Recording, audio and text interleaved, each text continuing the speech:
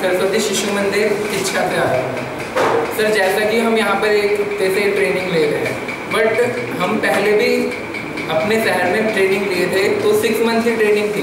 But जितना हमें six month में नहीं सीखने को मिला था, और वो जिस तरीके से सिखाते थे, उसमें हम इतने संतुष्ट नहीं थे।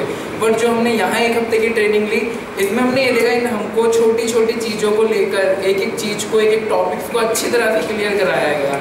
बाकी, सर अभी हमारे सर ने बताया था कि यहाँ का स्टाफ काफ़ी अच्छा था, बहुत प्यार से हमसे बिहेवियर करा, काफ़ी अच्छे से हमें सिखाया।